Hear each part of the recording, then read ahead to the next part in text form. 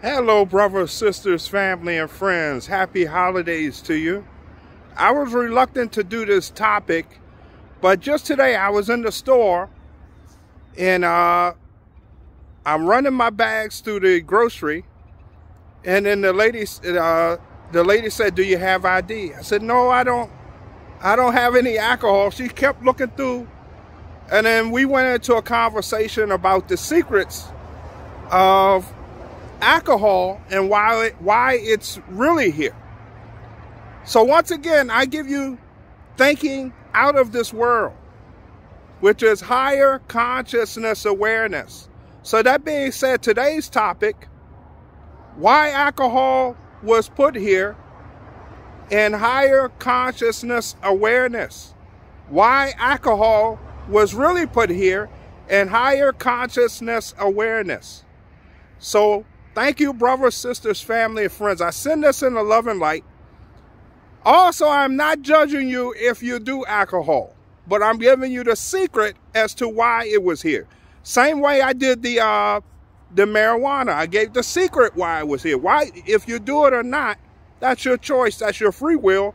But it's good to know the secret as that now will raise you to a higher level as you listen to these videos and now it's in your consciousness, and you will continuously pass it on, even without speaking to other beings all around you, because now you know the truth. For you know the truth, the truth says set you free. So that being said, alcohol and the real reason why it was here, let's be point blank. It attaches demonic demons to you. The reason alcohol was put here. Attaches demonic demons to you. So I'm going to give you a lot of examples because people say you're talking riddles. I talk in parables. But when you truly think, they make common sense. So they put things here to slowly destroy you. They don't want to do it right away because they need you into their, uh, their health centers, their hospitals. So it's a long-term effect. And then they laugh at you and mock you. So alcohol attaches demonic demons to you eat when you drink. The more you drink, the more. So a lot of examples. It destroys your kidneys long term. It destroys your liver long term. So not only that, also psychologically, you change. You actually change, but in the lower frequency way. Most people change in the lower frequency way long term. Also, it tastes bad and it smells bad on your body, but people keep doing it. And then also, when you see them holding up the bottles, that's poison. That's demonic. Also, most of us, including myself, took it because of peer pressure. Everyone else was doing it. F it, I'm going to do it. Yeah, I said that word. But yeah, I'm going to do it. And that's why I did it because of the peer pressure. But look at the long term, guys. DUI, people get behind the wheel. You can't take the keys. I'm going to drive. Also, you needed to attract ladies, right? But that's false. I told you sexual transmutation, you'll attract the ladies. That's a higher frequency. Also, it gives you more courage.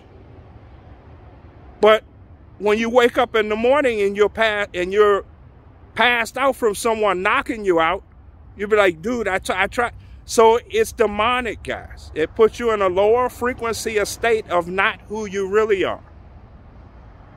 I had friends I couldn't even, like the end of the nightclub was I couldn't even pull them out. They kept chasing all the women. So it puts you in a chasing, which is which is unattractive to the woman species. It's flattering, but it's unattractive. When you chase, that's unattractive.